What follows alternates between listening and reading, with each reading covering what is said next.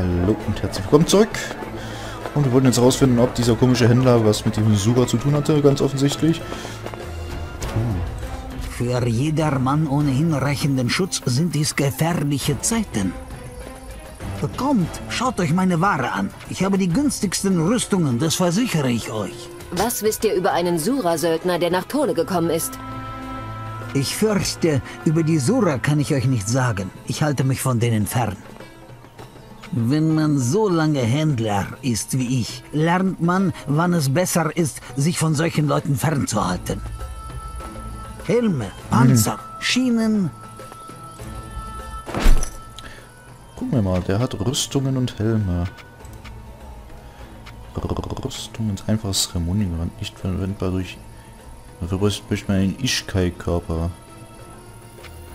Ich tippe mal Ishkai-Körper, das wäre jetzt zum Beispiel entweder der Bogenschütze, den wir spielen können, oder halt einfach der ähm, der Dings ja, wie ist er? Der, der, der äh, oh, 57 Verteidigungswerte hört. Magisch schwerer Helm. Sticht, beschädigter Eisenhelm.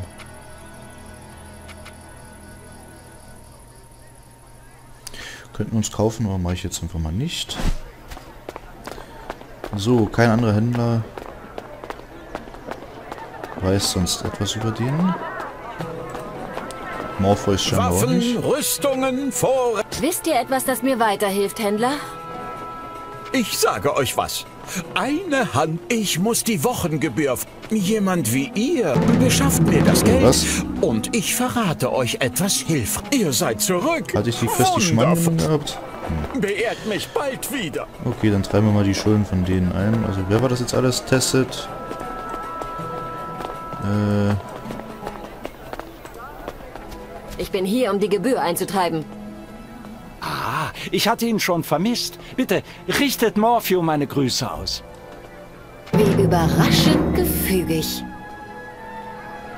Ihr seid hier stets willkommen. Ich bin hier, um die Gebühr einzutreiben. Oh, ist es schon wieder soweit? Äh, Gut, hier ist das Geld. Vielen Dank, Händler. uh, Gebt 20 auf euch sogar. acht. Uh, hier ist noch ein Buch. Meins. So. Ich bin hier, um die Gebühr für Morphew einzutreiben. Nicht nötig. Ich habe bereits gezahlt. Ich habe wenig Geduld mit Lügnern, Händler. Tja, den Versuch was wert. Hier, nehmt. Denkt an mich, wenn ihr Waren habt, die ihr nicht mehr braucht. Ja, zuerst bist du natürlich die Erste, der anspricht. Ja, ja. Da seid ihr ja wieder. Was wisst ihr über die Geschichte? Ich war ihr Helme, Panzer, Oh, der hat uns was Schienen. erzählt. Ja, ich... Möget Okay. ihr siegreich aus allen... Ich dachte, das hätte... Okay, ist ja egal. So, mal in Dialog übersprungen, das macht ja nicht so viel. Gucken wir mal, was Fyrus weiß. Die besten Waffen im Ödland Entweder sagt ihr mir, was ihr mit dem Sura zu schaffen hattet, oder ihr erfahrt am eigenen Leib die Macht einer Zauberin. tut mir nichts. Ich habe bloß den Boten gestellt, das schwöre ich. Kench, die Frau, die die Herberge führte. Sie bat mich, dem einäugigen Sura-Krieger eine Botschaft zu bringen. Er bezahlte mich dafür mit Silber. Aber ich tat nur, was Kench von mir verlangte. Mein Wort darauf. Keiner ist günstiger als ich, Freund. Was hatte Kench mit dem Sura zu schaffen? Sie hat den Ischkai ans Messer geliefert, der dort wohnte. Sie verriet ihn, um ihren Hals zu retten. Wenn man sie so anschaut, würde man das nie vermuten. Aber Kench hat Söldnern überall in den Herete Kingdoms Aufträge vermittelt. Bevor sie nach Tole kam, heuerte sie den einäugigen Sura an. Doch die Sache ging schief. Ihr Auftraggeber wurde erschlagen und der Sura sah nie seinen Lohn. Und wenn es eins gibt, das man im Söldnergewerbe besser unterlässt, dann einem Sura-Krieger etwas zu schulden. Sie wollte wohl ihre Schulden begleichen, indem sie ihm den Ischkai überließ. Keiner ist günstiger als ich, Freund. Das ist natürlich unschön. So, dann gucken wir uns aber trotzdem noch. Äh, sprich mit der Herberge, mit dem Geist. Das ist, das ist kein Schatten, okay. Äh, hatten wir das jetzt mit den, äh, waren das jetzt alle? Waffen, Ja, Rüstungen, Gebühren. Vorräte, Gün. Kanntet ihr jemanden namens Kensch? Darüber weiß ich nichts, fürchte ich. Ähm, Doch ich wette jemand anderes in der Stadt schon. Du weißt ja überhaupt irgendwas? Ihr seid zurück. Euer Geld, Händler. Meinen Dank. So ist das viel entspannter, als selbst mit diesen Aasgeiern zu verhandeln. Ihr wolltet Informationen? Folgendes kann ich euch sagen. Wenn ihr ins Haus der Stahlgilde wollt, kann Arashad euch Zutritt zum Keller verschaffen. Aber nehmt euch in Acht, die Gilde hat dort heimtückische Fallen gelegt. Ihr seid zurück. Wundervoll. Wow. Einfach nur wow. Oh, Ledergürtel. 398 natürlich. Handschuhe. Level 3er, selbstverständlich. So, und das haben wir schon. Also der scheint auch nicht wirklich was Besseres als was das, was wir bereits haben. Zu haben. Haben, haben. Und dann latschen wir jetzt einfach mal tatsächlich wieder zurück in die Herberge.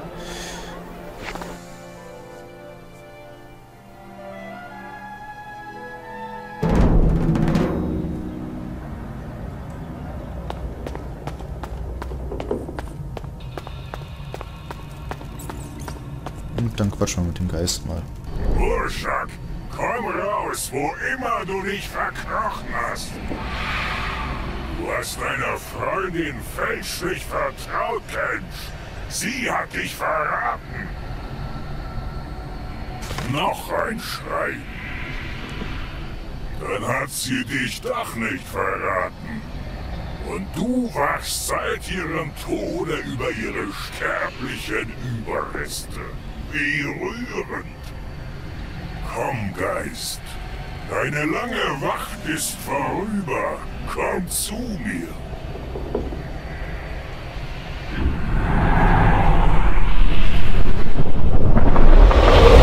Deine Seele ist jetzt mein.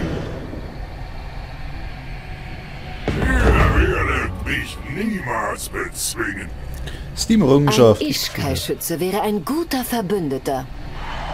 Und dankenswerterweise ein leiser. Das ist richtig. Äh, Gehe ich mal von aus, dass es richtig ist. Aber wir haben jetzt noch ein Schreiben gekriegt. Äh, aber wir haben trotzdem erstmal ein Level ab. Machen wir das Wichtigste zuerst. Seelenspalter. Mhm, mhm.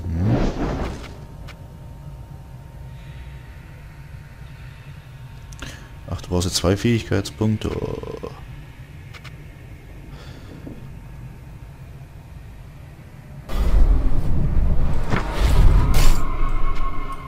Den Seelenspalter raus. Auf E. So.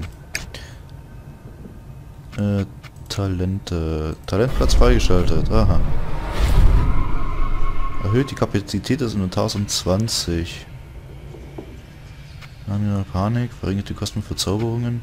10% mehr Seelen bei jeder Eliminierung. Erhöht die Regeneration um 2.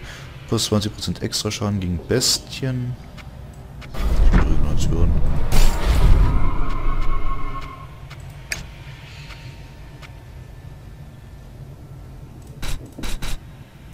Mal, Ach, kloppen wir gleich mal auf 30 das Ding. So, dann gehen wir mal auf Evia. Ach, da haben wir auch gleich mal die äh, Willenskraft auf 30. Ja, ich bin mir sicher. Talente, was haben wir hier? Präzision, erhöht die kritische Trefferchance von 2 um 2. Was haben wir hier noch? Schutz gegen stumpfe Gewalt, dunkler Schutz, äh, Eisschutz, Blitzschutz, das ist alles klar, was ist das? Siebschutz, äh, Intelligenz, was ist das? denn? Erhöht die Willenskraft um 10, erfahrener Grabräufer. Das ist zusätzlich 25%. Aha, Ausdauer um 10. Macht, Stärke um 10 Geschick. Seelenentzug, Mana-Aufladung, Absorbieren, Seelen plus 15%. Investition auf Kriegskampf für Fähigkeiten um 7%. Hm. Ja, guck mal, immer noch die Intelligenz.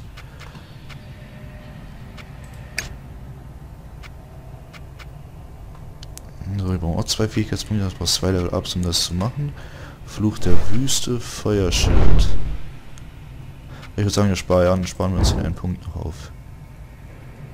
Was für ein Level hat der?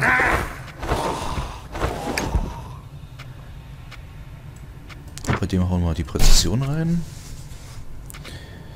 Ähm, der braucht ja wesentlich viel Gewandtheit. Und ein bisschen Ausdauer schadet dem guten Karl auch nicht. Der ist schließlich ein Jäger, Level 3, okay. Ja, ich bin mir sicher. So, Inventar, was hatten der wunderschönes? Äh,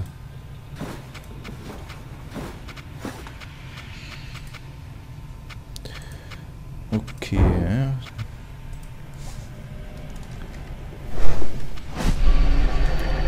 So, damit haben wir einen neuen Verbündeten. Und jetzt kann ich hier so zwischen die hin und her wechseln, alles klar.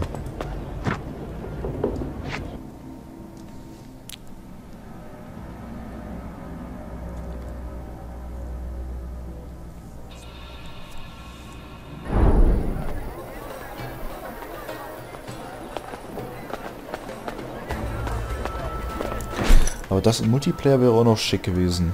Man könnte zumindest einer zumindest ähm, im Geistreich für Unruhe sorgen. Was ist das denn? Schackkick. Ähm, und die anderen könnten dann zum Beispiel dann äh, wo es denn jetzt? Ach, der Erkenntnisbrief. Lieblicher, ich habe dir im Namen deines Bruders schon so viele Briefe geschrieben, dass ich beinahe das Gefühl habe, du seist auch meine Schwester. Orshak und ich sind uns in den vergangenen Monaten sehr nahe gekommen und als ich erfuhr, dass, dass derselbe Sura-Krieger uns beiden na nachstellt, war das die perfekte Gelegenheit, ihm die Stirn zu bieten, um uns so beide vom Schatten unserer Vergangenheit zu befreien. Ich habe den einäugigen Sura nach Tole bestellt und ihm Verrat vorgeheuchelt. Wir haben die Absicht, ihn hier in meiner Herberge in, den, in einen Hinterhalt zu locken. Falls wir siegreich sind, brechen wir beim ersten Tageslicht zum Bündnis auf, um gemeinsam ein neues Leben zu beginnen. Ich freue mich darauf, Sie kennenzulernen. Deine Freundin Kench. Alles klar.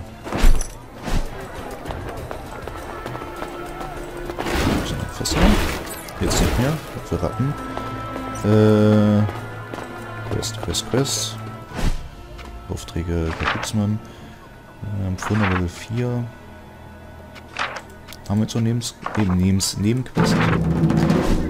Na dann verfolgen wir einfach mal das hier weiter. Da haben wir hier noch irgendwo zum Gildenkeller Tole. Ne, da kommen wir ja her. Was haben wir hier noch so für Häuser? Friedhof, Herberge, Stahlgilde. Zum Keller der Stahlgilde. Ne, gehen wir zum Kapuzenmann. Ach, hier ist der gesperrte gute Kerl, okay. Wenn wir mitten in der Stadt sind, dann können wir keine Gestaltenwechsel machen, oder wie? So, hier ist die Arcanum-Tür. Doch, gehen wir einfach mal rein, was soll schon schief gehen? Das muss das Arcanum sein. Wer wohl den Schlüssel dazu hat? Mhm. Beende die Quest, das Vermächtnis der Gal des Galurianischen Kaiserreiches. So, dann machen wir das halt zuerst.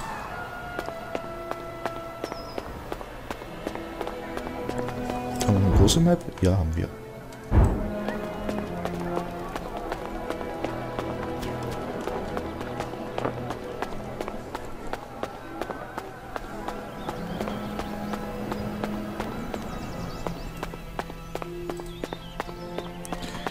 So, leider nichts zum Looten da. Die, die Dinger da oben können wir nicht kaputt machen. Äh, da. Was sind das? Seidenwachen? Achso. Hier haben wir noch einen Händler. Arashad, noch mehr Händler.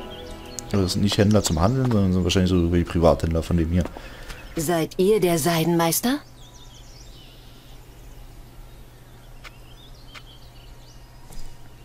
Ich bin das Oberhaupt der Seidengilde, Milady. Seidengilde. Seit wann ist es den Händlern gestattet, Gilden zu gründen? Wer in dieser Stadt sollte uns davon abhalten, Milady? Vergebt mir. Ich habe Tole anders in Erinnerung. Im Ernst? Es ist dasselbe alte Drecksloch wie eh und je. Mein Name ist Arashad. Wie darf ich euch ansprechen, Milady? Nennt mich Evia. Was benötigt ihr? Oh, gucken wir mal. Was könnt ihr mir über das Garulianische Kaiserreich erzählen? Warum interessiert ihr euch dafür? Das ist meine Sache. Wann ging das Kaiserreich unter? Oh, vor etwa 300 Jahren? Ich weiß nicht viel darüber. Irgendetwas mit einem Schwert und dem Theokraten. Wie man hört, begann damit für einige Länder eine Ära des Schreckens.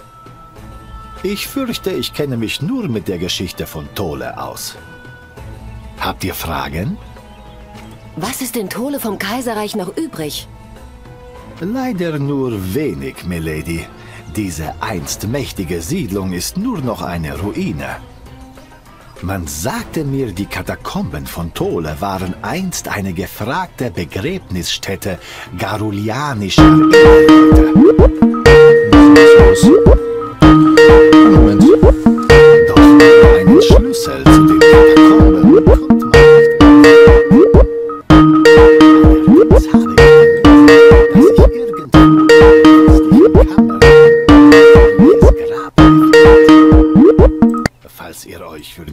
Für diese Epoche interessiert, solltet ihr euch unbedingt bei den Grabstätten umsehen. Allerdings wimmelt es dort nur so vor aphotischen Spinnen, also Vorsicht, Milady. Habt ihr Fragen?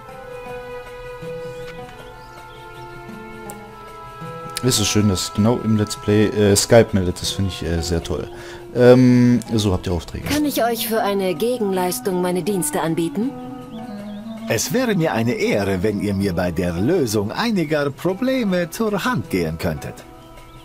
Einige meiner Händler fielen des Nachts aphotischen Spinnen zum Opfer.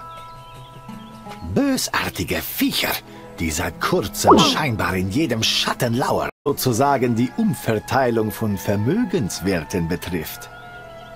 Habt ihr Fragen? Wie geht es der Seidengilde? Ach, die Zeiten sind schlecht für die Händler von Tole. Die Stadt ist von einer Nomadenhorde umzingelt, die sie plündern will. In den Schatten der Katakomben lauern fürchterliche Kreaturen. Andererseits sind die Profite der Seidengilde in diesem Quartal gestiegen. Nichts hilft dem Lebensmittelpreis besser auf die Sprünge als eine gute Belagerung. Was benötigt ihr? Wie lange werden die Vorräte noch reichen? Das lässt sich schwer sagen. Vielleicht ein Jahr? Falls ein Sandsturm die Nomaden zum Rückzug zwingt, sogar noch länger. Außerdem ist der Vorsteher ein mächtiger Portalmeister. Vielleicht hat er ja die Mittel, uns durch dieses Unglück zu helfen. Es ist schlimm, doch leider lauern innerhalb dieser Mauern größere Gefahren als außerhalb. Was benötigt ihr? Was könnt ihr mir über den Vorsteher sagen? Sehr wenig, Milady. Er stürzte meinen Vater als Vorsteher. Ich liebte meinen Vater nicht, doch wir waren blutsverwandt, versteht ihr? Ich traue dem Herzog nicht. Und das nicht bloß, weil er dem Schleierorden angehört. Jeder weiß, dass der Orden bloß ein Blendwerk von Rechtschaffenheit ist, mit dem die Inquisition den Verfall in ihrem Inneren verschleiern will. Ohne ihn wäre Tole besser dran. Bitte, stellt eure Fragen. Ich kann die aphotischen Spinnen für euch erledigen. Dafür wäre ich euch überaus dankbar, Milady. Bringt mir zehn Spinnenkadaver und ich zahle euch fünf Taler pro Stück. Sucht auf dem Friedhof südwestlich des Marktes. Dort scheinen sie sich in Scharen zu tummeln. Bitte, stellt eure Fragen. Was soll ich stehlen und warum?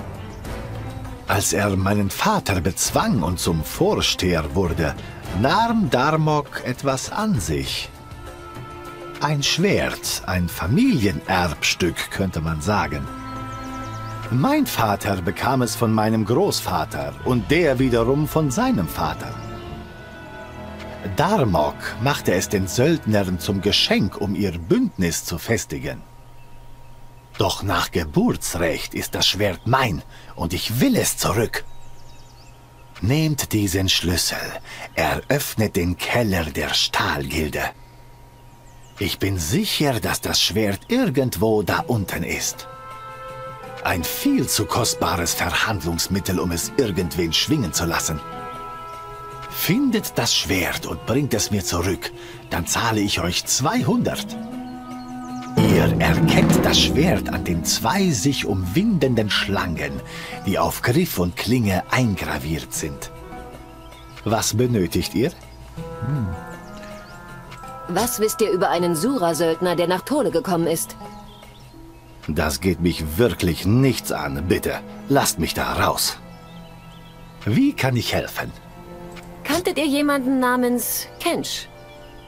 Sie führte doch früher die Herberge, oder? Um ehrlich zu sein, ist mein Wissen über die Bürger von Tole außerhalb der Seidengilde begrenzt. Was benötigt ihr? Jetzt nichts mehr. Okay. Wir haben ein paar neue Quests gekriegt. Ähm und ja, wir hatten eine kleine Skype-Störung und dann hatten... Und dann mal gucken. Aber wird nicht so trotzdem uns in der nächsten Folge wieder, oder, ja, wie ich das zusammenschneide. Okay, bis dahin gleich. Ciao!